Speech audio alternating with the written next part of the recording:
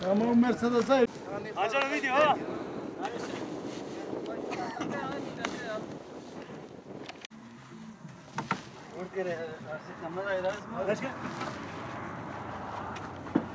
Görüyorsunuz abi işte Ramazan ayındayız. Hava sıcaklığı 45 derece. Saman dolduruyoruz. İşimiz bayağı zor. Meslek yok bir şey yok mecburen geçim sıkıntısı. Çalışıyoruz işte böyle. Zaten topu topu saman iki aydır. Yani ne çalıştıysak bu aydır. Diğer aylar hep boş. İş yok yani.